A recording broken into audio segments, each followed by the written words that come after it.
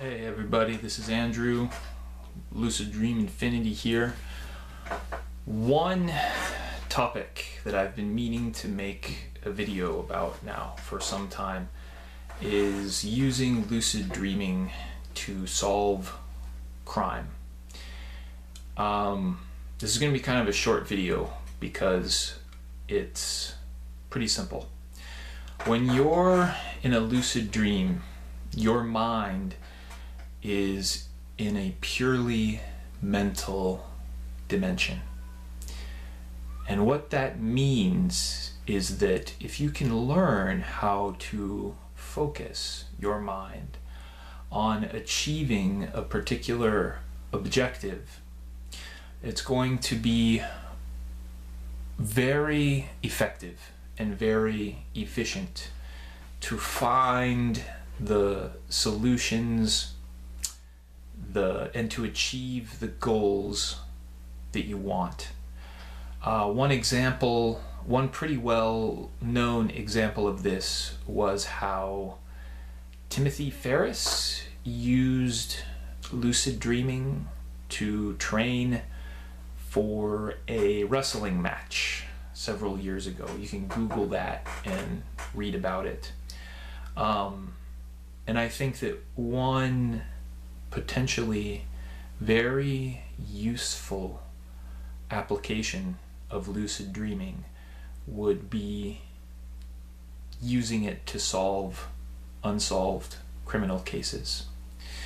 Um, a detective or a special agent working on a case that achieves a certain level of fluency in lucid dreaming could definitely use it to discover connections between clues of a case that they're working on that might be much more difficult to see a connection with in waking life.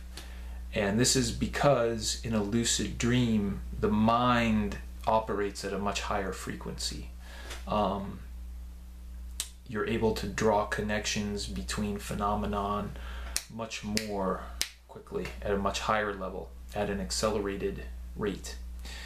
So if you went into a lucid dream with the intention of discovering a clue or discovering a new lead for an unsolved criminal case, I think that that would definitely be worth a shot because the mind is much more flexible.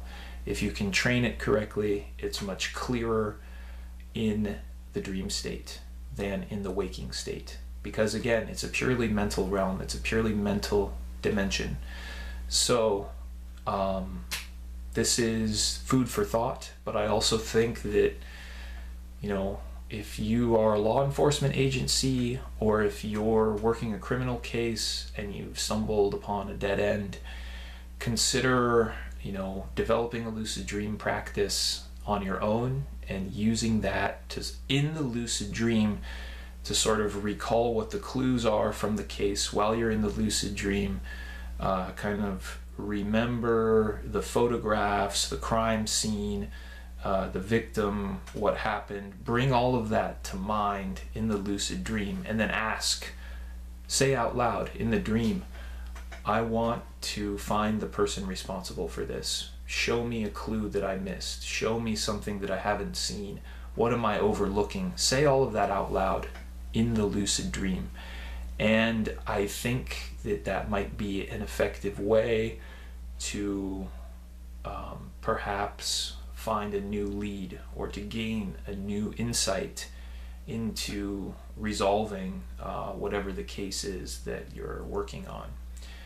And yeah, I, I would say consider developing a lucid dreaming practice for that. Uh, consider you know if if it works over time and you know there's enough of a consensus among the law enforcement community you know consider developing a training program and teaching detectives and special agents how to be lucid dreamers and then um, that'll be a, you know i think a very effective tool um, for them to draw on when they need to gain an insight into catching a criminal and perhaps discovering something that they have overlooked. So uh, that's it for this video. I just wanted to, you know, put that out there because I think that doing something like that will have tremendous value for law enforcement. Okay, see you next time.